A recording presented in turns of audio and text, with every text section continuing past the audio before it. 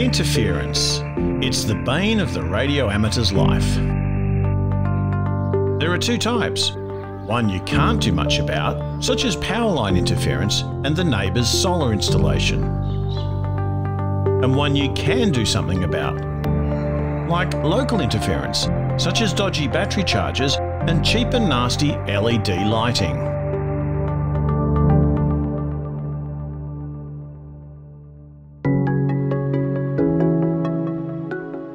LEDs are really good for the environment. They can last for years, which means their carbon footprint is minimal compared to other forms of lighting. They're also low voltage, which is a big advantage for consumers.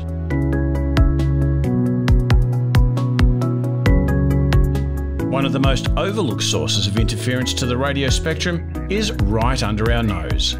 It's rather obvious, but the LED lighting in the shack or on the table next to your favourite transceiver is often the source of your noise. There are many retailers who unknowingly or maybe knowingly sell lighting solutions that cause EMI.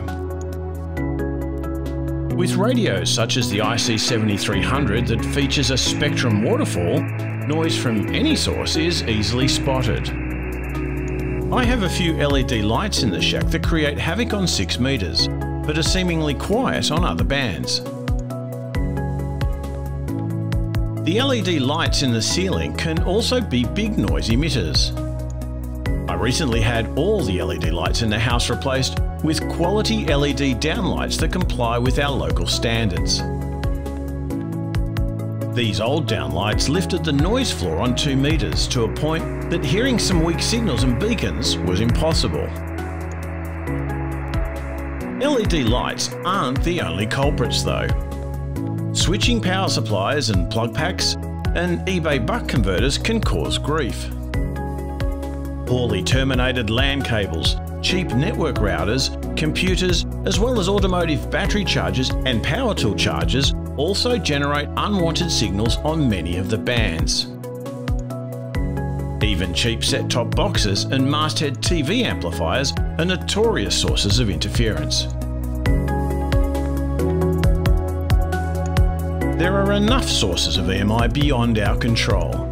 So when it comes to locally generated interference in your home, buy the best quality products you can afford from a reputable seller.